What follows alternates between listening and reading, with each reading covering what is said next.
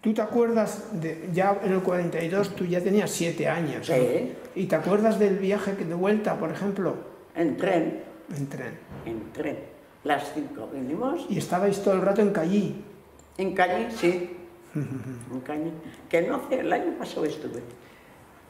Y me acordaba. Sí, dos veces ya has estado en Cañí. ¿Eh? Dos veces has estado en Cañí. Sí, pero me acordaba de donde estaba la escuela, el cementerio, las monjas, donde vivía yo, que ahora han cambiado, porque hubo bombardeo allí, en Cañí, en la Segunda Guerra Mundial, en el 42, estaban los alemanes.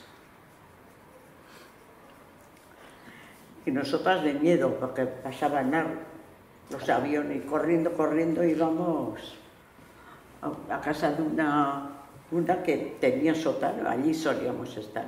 Y mi abuela, la mina, decía que quería morir aquí, en España. Era, era alemana, pero vino con 20 meses, ¿eh? muy joven. Y por eso, pues ya así venimos, sí, mamá, porque les hicieron todo. ¿Y eh, eh, os acordáis más o menos eh, qué trato tuvisteis en Francia cuando estuvisteis Muy como, bueno. como refugiados? Muy bueno, muy bueno. A mí allí me llamaban Chicho. Son recuerdos, tengo, bueno, tenemos muy buenos recuerdos. Y había una familia que no tenía hijos.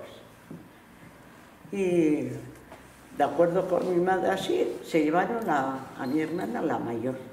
Estuvo allí pues un par de años o tres con ellos, no tenían hijos. Y luego cuando vinimos para aquí, se la querían quedar. Pero me dijo que no, que era su hija y vi- vino con nosotras. Claro, tenías que... te- Las casas que no se veía luz ni nada. Y una vez, ¡bom, bom! Una puerta. Nosotras de miedo. Salió mi abuela y le salió en alemán. Que tenía... Desde entonces, arriba, es que no sé, igual me meto un poco más, pero bueno, había un... Había monjas. Un palacio era y tenía algo así de cristal, muy bonito. Y me llamaban, Chicho, ven, ven. Y me daban pan con mantequilla. Así en las rodillas de... Y posterior se portaron muy bien los alemanes con nosotras. Muy bien.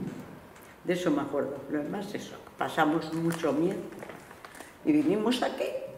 Pero lo pasamos aquí.